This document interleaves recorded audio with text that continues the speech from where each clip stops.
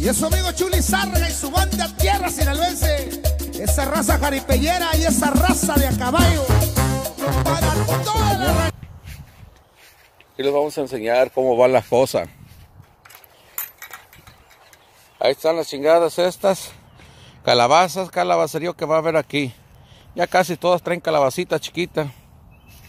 Casi todas ya traen. ¿Eh?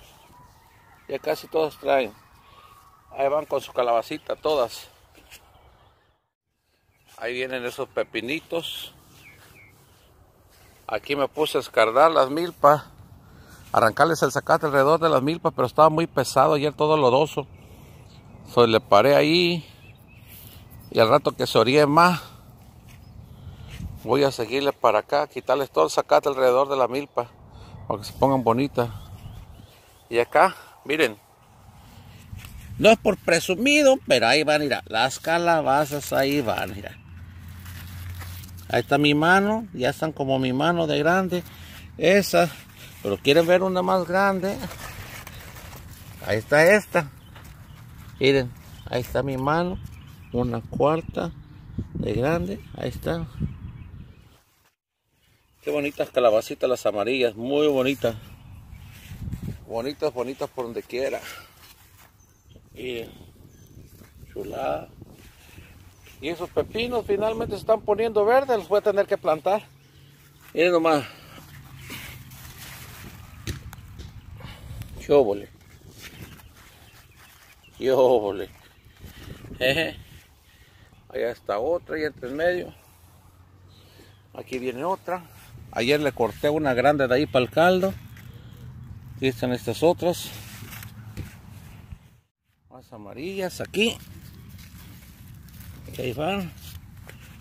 Acá ya también está otra gruesecita. Gordita ya. Mírala.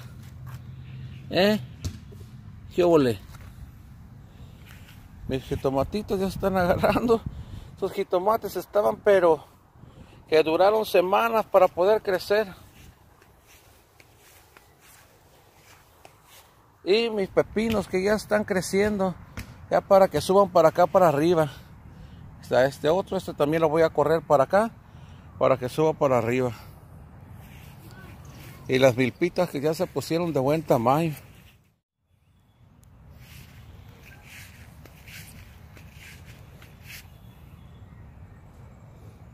¿Cómo ven? ¿Cómo ven? ¿Cómo ven?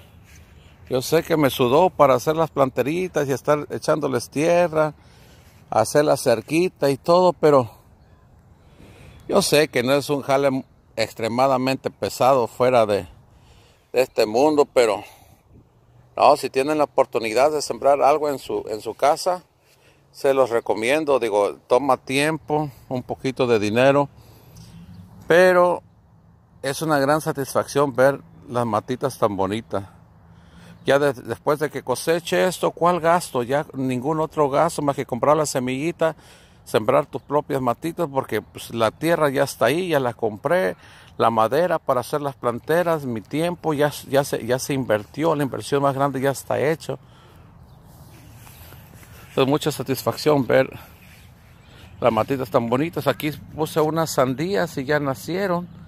Aquí les voy a hacer algún cercadito para que no pisarlas porque ayer Brandon y yo pisamos una sin querer. Lo único sí que no malo para lograr fueron flores. Sembré mucha flor, pero mira, son las únicas. Y es la primera que ha floreado. Las otras no sé qué tipo de flores sea, pero no han floreado nada. Y hace ratito corté rábanos corté rábanos de aquí. De aquí hay todavía. Aquí todavía hay rabanitos. Los repollos bien bonitos. Ahí están, chulada, ahí vienen. Ahí están los rábanos. Saben de que los dejé muy tupidos. Todavía no se desarrollan mucho. Porque tienen que estar a dos pulgadas de retirado. Yo por no cortar las matitas. Miren qué tupidos los dejé. Ahora que si quieren ver jitomatitos, ahí están. Miren, yo bola.